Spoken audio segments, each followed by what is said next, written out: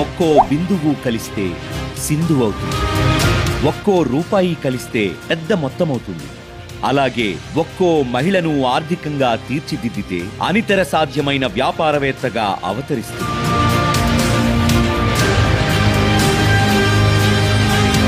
ఆకాశంలోనే కాదు అవకాశంలోనూ సగమంటూ మాటలకే పరిమితం కాకుండా మహిళలు మీరు మహారాణులు అంటూ వారిని వెన్నుతట్టి ప్రోత్సహిస్తుంది మన జగనన్న ప్రభుత్వం.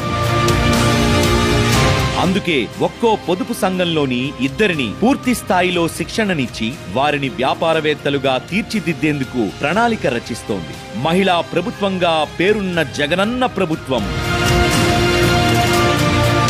మొత్తం ఆరు విభాగాల్లో సాగనున్న ట్రైనింగ్ ఎనిమిది పాయింట్ మూడు నాలుగు లక్షల సంఘాల్లో పదహారు పాయింట్ ఎనిమిది నాలుగు లక్షల మందికి ఆర్థిక అక్షరాస్యత శిక్షణ. ఈ ఒక్క ఏడాదే పొదుపు సంఘాలకు మరో ముప్పై వేల కోట్ల రుణమివ్వడమే లక్ష్యం. ఇందుకు తగిన రుణ ప్రణాళిక సిద్ధం చేసిన సెర్ దేశం గర్వించదగ్గ లేడీ ఆంటర్ప్రెన్యూర్స్గా ఎదిగేందుకు ఈ మహిళామణులు చేయాల్సిందల్లా ఒక్కటే. మాకు ఆసక్తి ఉంది మేము సిద్ధమేనని ఉత్సాహం చూపిస్తే చాలు. మీ దశ తిరగడం ఖాయం.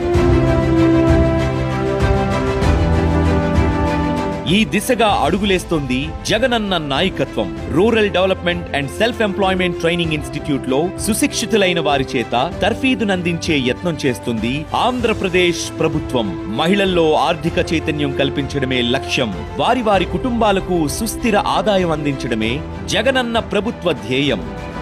ఎందుకంటే ఇది మహిళా పక్షపాత ప్రభుత్వం. మహిళా సాధికారతే ప్రధాన ఆశయం. ఎందుకంటే ఇది మహిళా పక్షపాత ప్రభుత్వం మహిళా సాధికారతే ప్రధాన ఆశయం.